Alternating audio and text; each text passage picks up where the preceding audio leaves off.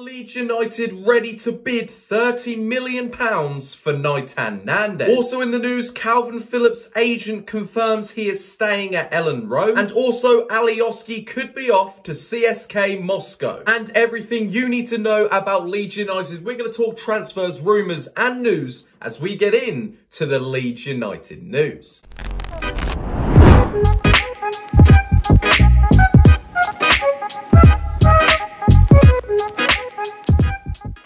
Guys, what is going on? My name is Ollie Ward and welcome back to another Leeds United transfer video. Let's not talk about the hat, I get it, okay? The hair is awful. I had to chuck a hat on it. It's not even mine. It's my, it's my sister's. As always, the support has been mental, okay? Even though I haven't even uploaded a transfer video in nearly a week, the, the, support's still crazy. The other videos are doing well. I'm just I'm just grateful. Thank you guys. But if you are new, be sure to go down there, subscribe, drop a like on this video, and also comment where you're from. I always like to know, let me know where you guys are from in the comments down below. Without further ado, let's get in to the Leeds United news. Marcelo Bielsa wants Nahitan Nandez. We spoke about Nahitan Nandez a few weeks ago and since then, I haven't heard too much about it. I did say in the last video, Leeds could be close to signing him as the chairmans were close. I thought it would have been an easier deal to get done. I believe then the Leeds hierarchy looked at other options and then West Ham were favourites to sign Nahitan Nandez. And now it looks like Leeds United are back in the race for him as Marcelo Bielsa insists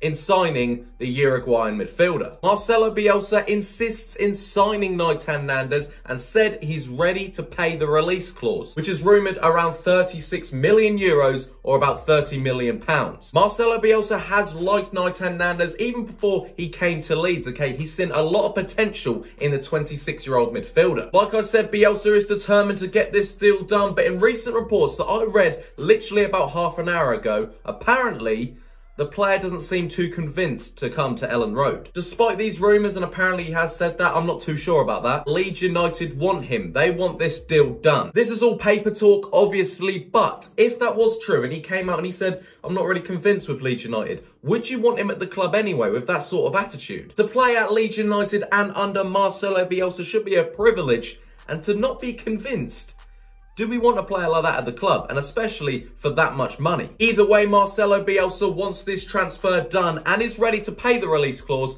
£30 million for him. Will we get it done? Who knows? It's Leeds United at the end of the day. Most likely we probably won't. We'll probably get some random Serie B player instead. Kalvin Phillips to sign new and improved deal at Leeds United. Kalvin Phillips has certainly made a name for himself in the England lineup at the Euros so far. Despite their poor performance against Scotland, I don't think you can point out any good player in that England side for that game. Kalvin Phillips was excellent in that first game at Croatia and since then it is rumoured that a lot of clubs do like him. In recent reports, Kalvin Phillips' agent has came out and spoke about Phillips' future. He has come out and said that Kalvin Phillips has no desire to move on and doesn't want to move. He then followed with he would be open to sign a new and improved deal to stay at Elland Road for longer than his current deal. Is this just his agent trying to earn a few bucks, like saying things to get the media on his side, maybe getting a bit of money for him? Or do you think there's genuine truth in this? Does Kalvin Phillips want to stay at Leeds United? I believe he does. And if he doesn't,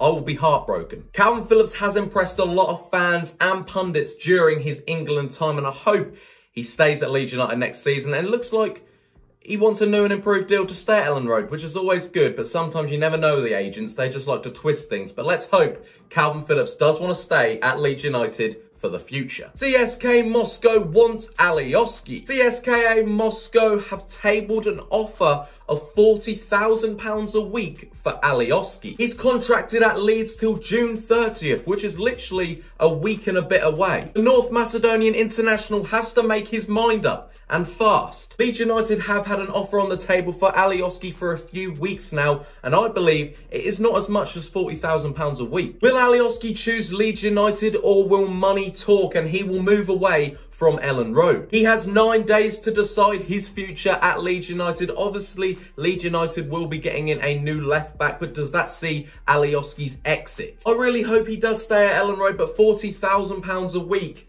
I don't know if he can turn that down. Unless Leeds United come out with a brilliant contract for him and get him to stay at Elland Road. You know, he's a cult hero. He is a fan favourite. I personally believe Alioski should stay at Elland Road. And my question of the day for you guys is, will Alioski stay or go? It's not what you want, it's what you believe will happen. I personally want him to stay, but unfortunately, I think he will leave. I think his time in a Leeds United shirt is done. But let me know in the comments down below, guys, will Alioski stay or leave?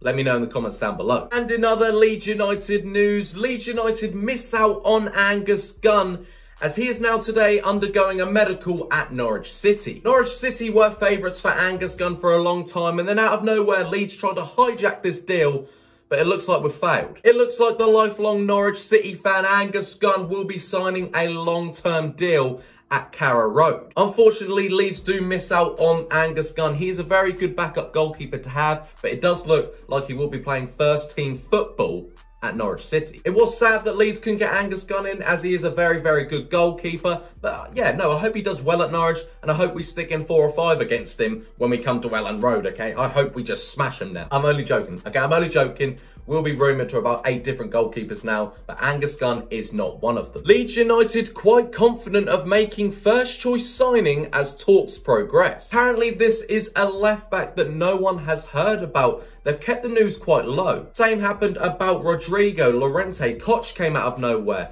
I think we're doing a deal quite secret to the media. This is not necessarily a bad thing, it's just I can't report anything about it because I don't know anything about it. Like I said, it's just bad for me because I can't report any news to you guys, but all I know, it is a left back, apparently. I'll try and keep you guys up to date on this transfer. If any rumours or any news comes out about this, I will let you guys know in the next few weeks. So I hope you guys did enjoy the Leeds United news. If you did, be sure to smash that like button. Can we smash 80 likes on this video. I know you guys can do it. Let's try and do it pronto. So if you, yeah, you right there, have not smashed that like button, make it go blue, hit that like button. Apologies for the hat. Okay, my hair is Okay, let's not talk about it. Let's put the hat back on. But either way, I hope you did enjoy the Leeds United news. Like I said, guys, if you are new, be sure to subscribe, comment, and drop a like. Comment where you are from, as always. And also, will Alioski stay or go? Not what you want, what you believe.